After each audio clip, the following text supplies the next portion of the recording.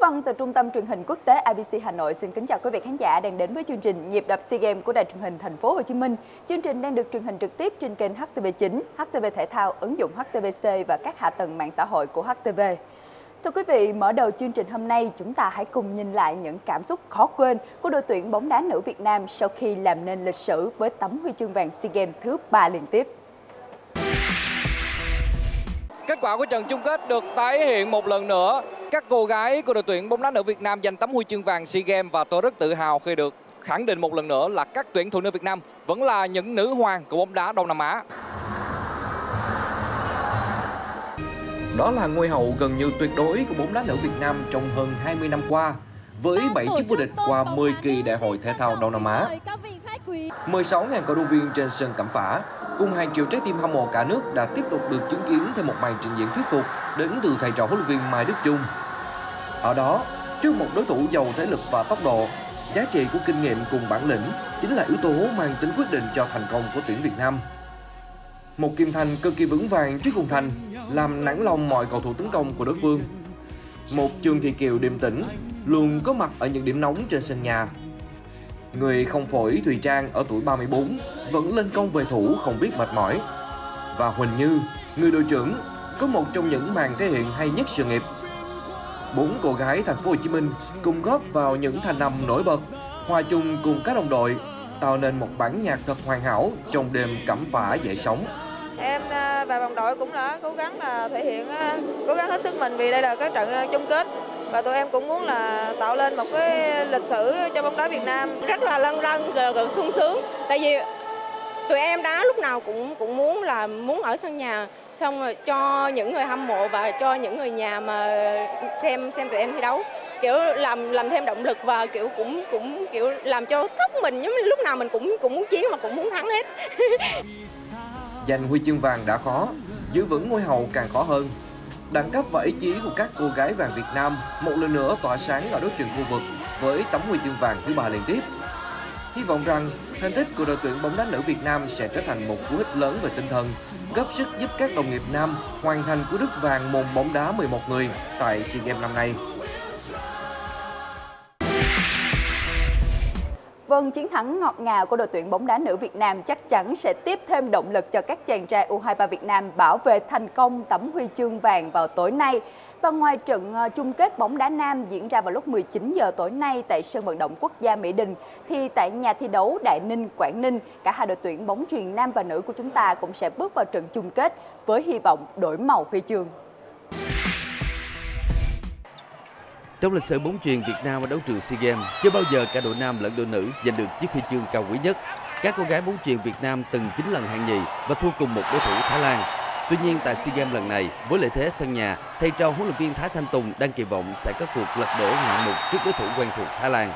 Chiến thắng thuyết phục trước Philippines 3-0 ở trận cuối vòng bảng giúp Bích Tuyền và đồng đội tự tin trong cuộc tái ngộ Thái Lan ở trận tranh chiên vàng diễn ra vào lúc 17 giờ hôm nay tại nhà thi đấu Đại Ninh, Quảng Ninh.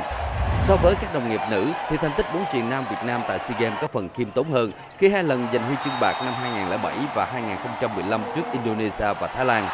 Kỳ SEA Games này, bóng chuyền nam Việt Nam được kỳ vọng sẽ giành được thành tích cao nhất sau khi ngược dòng đánh bại Thái Lan 3-2 trong một trận bán kết nghẹt thở, phải phân định thắng thua sau 5 ván để tái đấu Indonesia trong trận chung kết diễn ra vào lúc 14 giờ hôm nay. Dù bị đánh giá thấp hơn nhà đương kim vô địch Indonesia khi thua 1-3 vòng bảng, nhưng lợi thế sân nhà cùng tinh thần đang lên sau khi đánh bại bóng xứ chùa vàng sẽ giúp Từ Thanh Thuận và đồng đội tự tin bước vào trận chung kết gặp Indonesia với hy vọng làm nên lịch sử cho bóng chuyền Việt Nam. Thưa quý vị, sáng nay môn xe đạp bước vào nội dung thi đấu cuối cùng đồng hàng cá nhân nữ và tay đua Nguyễn Thị Thực cùng các đồng đội đã thi đấu xuất sắc để mang về thêm hai tấm huy chương vàng nữa cho xe đạp Việt Nam tại SEA Games 31. Tỉnh Hòa Bình sáng nay chìm trong cơn mưa nặng hạt, nhưng các nữ tay đua Việt Nam đã có một ngày thi đấu không thể xuất sắc hơn. Nhà vô địch châu Á Nguyễn Thị Thật sớm tách khỏi đoàn đông để đi trong top 1 cùng với hai đối thủ Singapore và Malaysia. Ở 50 m cuối, cô chọn thời điểm tăng tốc hợp lý. Cán đích đầu tiên mang về tấm huy chương vàng thứ ba cho xe đạp Việt Nam tại SEA Games 31. Chiến thắng lần này đó nó làm cho em rất là xúc động bởi vì ờ, trên ờ, khắp con đường đều có người hâm mộ Việt Nam mình đặc biệt là SEA Games tại Việt Nam mình 19 năm mới có cho nên là rất là xúc động rất là rất là vinh dự khi giành được tấm huy chương vàng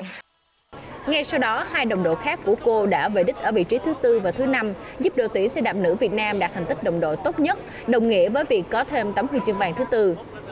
Như vậy, xe đạp Việt Nam đã có kỳ SEA Games thành công rực rỡ với tổng cộng 4 huy chương vàng, vượt chỉ tiêu đề ra. Đội tuyển thể dục aerobic Việt Nam có ngày ra quân thứ hai với nội dung đầu tiên ở ngày thi đấu đơn nữ tại cung thể thao quần ngựa. Vận động viên Trần Hạ Vi đã thi đấu cố gắng, nhưng do phần thực hiện còn một vài lỗi nhỏ thiếu chính xác trong các động tác độ khó, nên chấp nhận thua vận động viên Thái Lan 5% điểm, đạt huy chương bạc. Vận động viên Thái Lan Chawisa Intakul đạt huy chương vàng với điểm số 19 điểm 350. Vận động viên Philippines Dola Chaman huy chương đồng.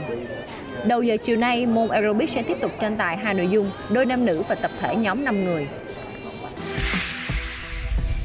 Sáng nay môn lặn tiếp tục tranh tài tại cung thể thao dưới nước thuộc khu Liên hợp Thể thao Quốc gia Mỹ Đình. Trong đó các vận động viên Việt Nam đều đạt thành tích ấn tượng. Hai nữ kình ngư Nguyễn Thị Thảo, Phạm Thị Thu đều giành quyền vào lượt thi chung kết nội dung 50m nữ vòi hơi chân vịt bằng các kỷ lục đại hội mới được thiết lập.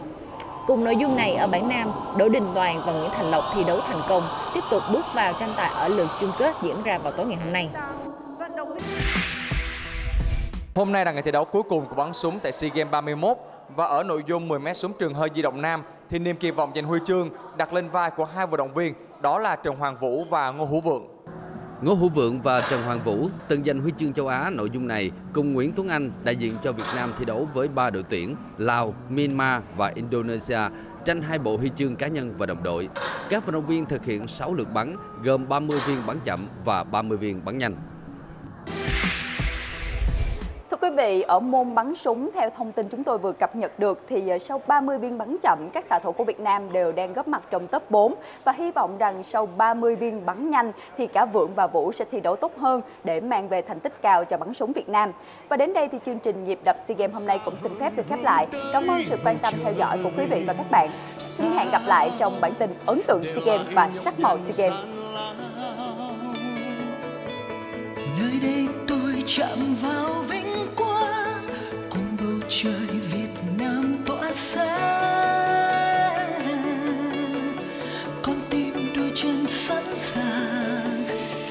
strongest song.